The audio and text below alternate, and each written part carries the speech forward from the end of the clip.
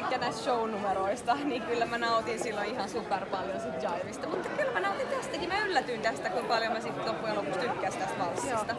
No mitä Aluksi se niin tuntui vaan hirveältä, että mun pitää te- tanssia tämmönen rauhallinen tanssi, mutta sehän meni tosi hyvin. Se meni oikein Niin, niin, niin. tosi herkkuun. Täällä Niin. kaikkihan oli ihan Niin. No mitä odotuksia sulla on? No. Tai teillä? No siis tota, mä haluan vaan Tanssia mahdollisimman niin, paljon. mahdollisimman paljon ja just se, että saa oppia kaikki nämä lajit, koska tämä on niin siisti mahdollisuus.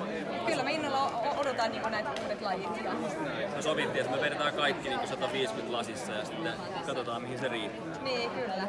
Ja me halutaan myös yllättää Suomen kansaa. Me yritetään sitten keksiä tuommoisia juttuja. Kaikenlaista. Kaikenlaista. Meillä on paljon ideoita, kyllä, mitä me haluttaisiin toteuttaa.